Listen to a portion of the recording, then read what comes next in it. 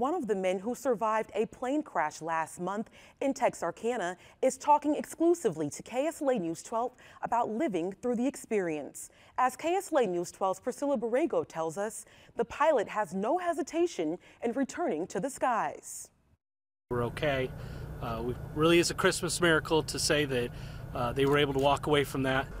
That's how Texarkana Regional Airport leaders describe a plane crash last month near the airport where a pilot instructor and his student were able to walk away. The pilot was Carl Bandy Sr. Uh, and you do your training and do the best you can, and the rest is left up to the Lord, and I believe he was right there. Today, Bandy spoke exclusively to us about the tense moments leading up to the crash. And we could see ourselves surfing the tops of the trees, and then we just end up settling down um, going breaking branches as we were going down, and we, we both walked away and had minimal scars.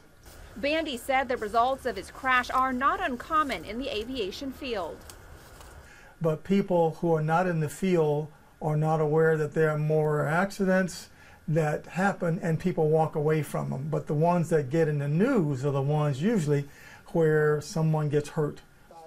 Bandy said he's been a pilot for more than 50 years and is the founder of the Four States Youth Flyers, a nonprofit organization developing interest in the aviation field. He said this crash has not grounded his nor his students' interest in flying. Oh, I was flying two days later.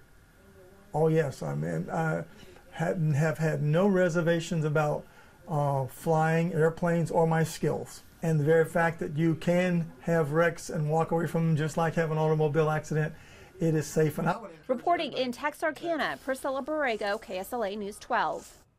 The National Transportation Safety Board is still investigating what caused the plane to go down.